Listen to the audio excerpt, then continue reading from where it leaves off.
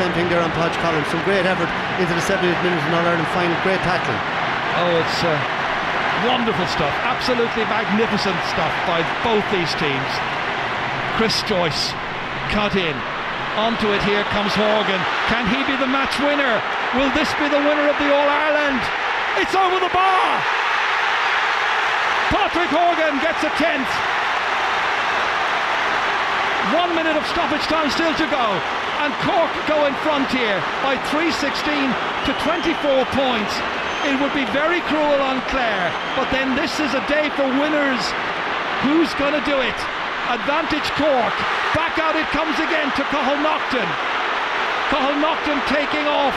We know he's got pace. Pat Donnellan is after him and flicks it away. There's a support player there waiting for it. And that ball is hit in there by Stephen Moylan and finally won back by Park Kelly. 30 seconds or thereabouts to go. He's been hounded across over there by Luke O'Farrell out over the far sideline. Line ball coming up. A line ball to Cork. And the Cork fans all around Croke Park are on their feet at this stage. What a winner that would be by Pat Horgan, one of the stars of the day on a day when Clare have certainly been the better team, but Jimmy Barry's Murphy's side look like they're about to snatch the victory. Stephen Moylan ready to hit this. And he needs it to go dead the game is over. Hits it in and hits it wide. Almost there. Jimmy Barry Murphy looks like he's done it.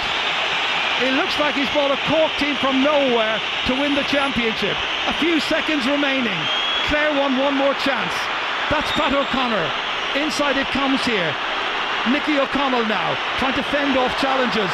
Back out it comes once again to Domhnall O'Donovan. They would deserve a draw. They get a draw.